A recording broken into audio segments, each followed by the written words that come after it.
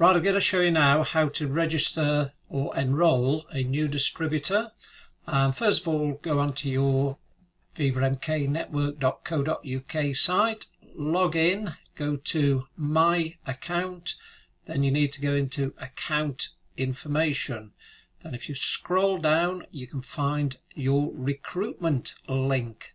If you click on that, then that brings up your recruitment link and that's what you send to the potential person who wants to join your business.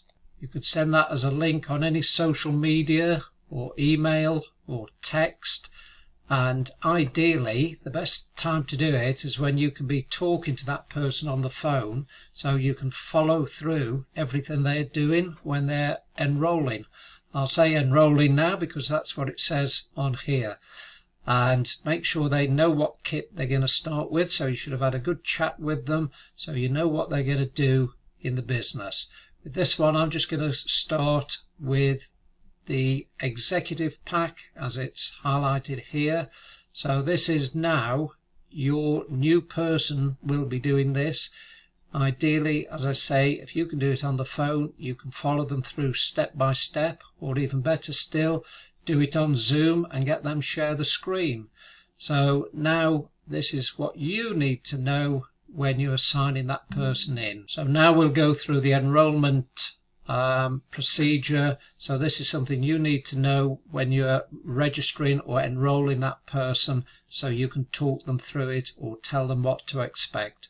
So now let's get them to start. So they click on there and then that brings them to the enrollment page. So they just fill out their details and I'll type a few details in here so you can see exactly what happens. So now make sure that they've checked that it's you as the sponsor. They know what package they're going to get. Make sure they know it's the correct package. They've filled out the details on here. They've sorted out the shop name. And if they've got a partner, they need to fill out the details on there. Make sure they put the shipping address where the kit is going to be sent to and they've had a look through and ticked the terms and conditions and they are over 18. So once they've done that, all they do is click next and now they just pay for it and credit or debit card. So we'll just go for that one now. Let's say we'll go for the full package here. Check the address is correct. Check all the details. If they're happy with that then all they do is click place the order. And then they put the payment details in. I'm going to put a payment in here. They put the security code in and then proceed to verification. So if they click that, then this is what they will see when they've done that. So that's it. Their order has gone through. It tells them they're going to get an email confirmation and that will go direct to their email address. So now if you tell them to check their emails, they'll find that there's a confirmation of the order. So they've got the receipt with what they've ordered.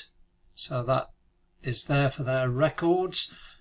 And they will also get a welcome to Viva MK network.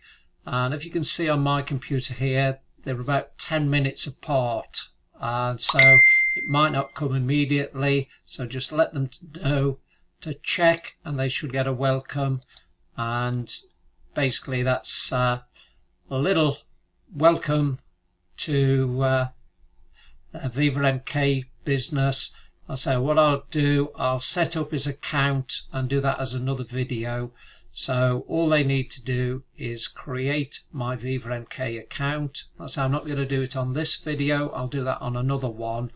And then ideally, like I said before, if you can follow it through with them, be on the phone or on Facebook uh, or a Zoom call, then if there's any issues you can sort them out immediately. Right I'm going to stop this video now and uh, do another one later